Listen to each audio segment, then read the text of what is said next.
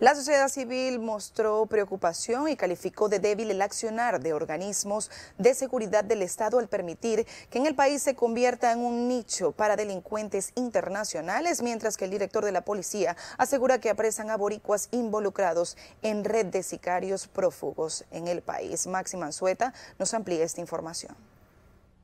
Colombianos, estadounidenses, italianos, mexicanos y de otras nacionalidades han usado el país como destino para esconderse de las autoridades de sus naciones cuando se han visto envueltos en hechos delictivos.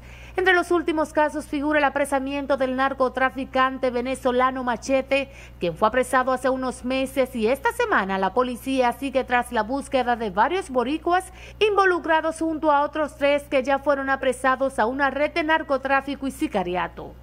Nosotros trabajamos coordinados. El Ministerio Público, la DNCD, el DNI, las Fuerzas Armadas y la Policía.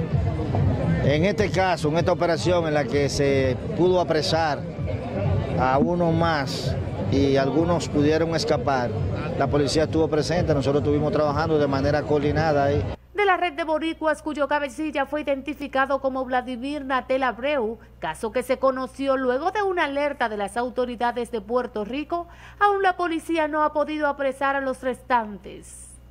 El que falta, le pedimos que se entregue, que se entregue, que nosotros vamos a estar disponibles a esperarlo hoy, a que se entregue por la vía que considere necesaria, porque el brazo de la justicia nosotros lo vamos a atender hasta donde sea necesario para producir el apresamiento y montarlo en su avión hacia Puerto Rico. El director policial reiteró que no permitirá que el país siga siendo utilizado por delincuentes internacionales para esconderse.